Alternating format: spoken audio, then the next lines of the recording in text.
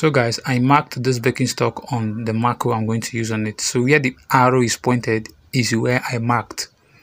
Alright, but that's not where I'm going to cut. That line is not where I'm going to cut. So watch. This arrow is showing where I marked. Alright, another arrow will come again right now. Now the second arrow is showing me I'm going to cut. You know I'm giving that space is because of the welt. It's very simple. Just understand this video through the illustration I'm giving right now. All right. So this is it. This is what we're going to do.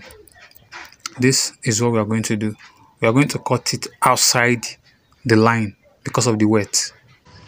I promise to show you guys how to welt baking stock. So that's what I'm doing on this video. Right. So just follow the way I'm explaining it to you. You get it right. It's not hard. Okay. There's not much. This video is not too long. All right.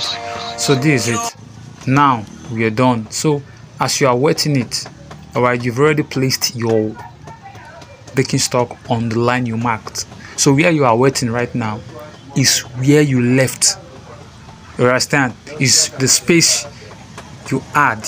I don't know if left is right english but it's the space you add.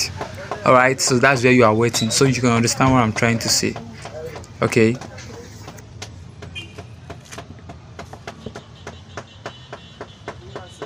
so after everything you cut it close to the line and bend and push it inside. Hope you have your glue around then you glue it after everything. Okay so you see how it looks.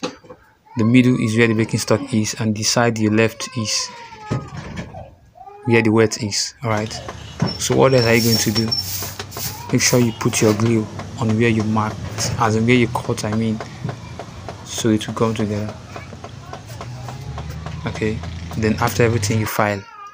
All right so that's it guys. Thank you for staying by to watch this video. Please like and subscribe